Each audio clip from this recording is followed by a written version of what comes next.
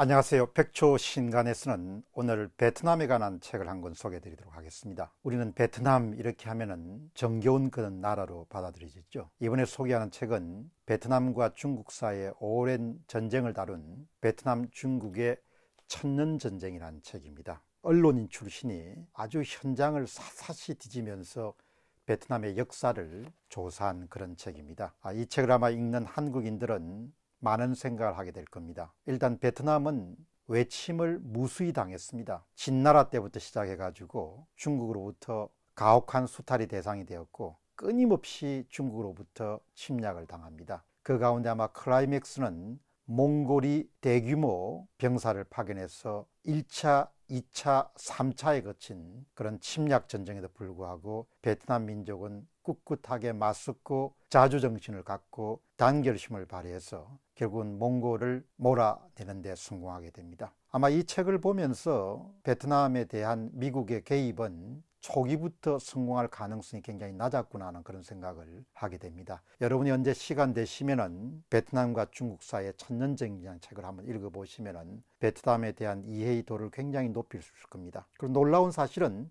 나라가 위기에 처한 구비구비마다 영웅들이 굉장히 많이 탄생하게 됩니다. 특히 모계사이기 때문에 여성들도 외침에 당당히 맞서서 군사를 일으킨 그런 자랑스러운 역사를 기록하고 있습니다. 베트남에 대한 이해도를 높일 수 있는 책 천년 전쟁을 여러분들에게 적극적으로 추천해 드립니다. 오늘 백초신간에서는 베트남과 중국을 다룬 천년 전쟁을 소개해 드렸습니다.